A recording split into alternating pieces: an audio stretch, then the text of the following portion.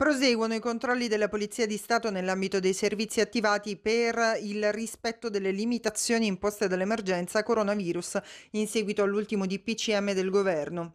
Ieri i poliziotti della sezione volanti della Questura di Caltanissetta hanno controllato 65 persone, acquisito 55 autocertificazioni che poi saranno soggette a verifica e elevato 11 sanzioni amministrative da 400 euro ciascuna per violazioni delle misure di contenimento.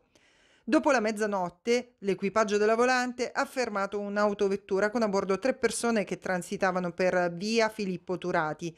Le persone in questione non erano legate da vincoli di parentela né di convivenza ed hanno riferito ai poliziotti di avere trascorso la serata insieme in giro per la città, andando così a violare la disposizione governativa che prevede il divieto di uscire dalla propria abitazione dalle 22 alle 5 del mattino successivo senza un giustificato motivo.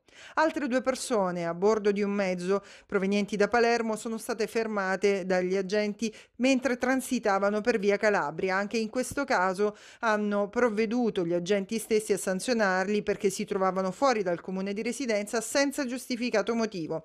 Le altre sanzioni hanno riguardato l'omesso uso della mascherina.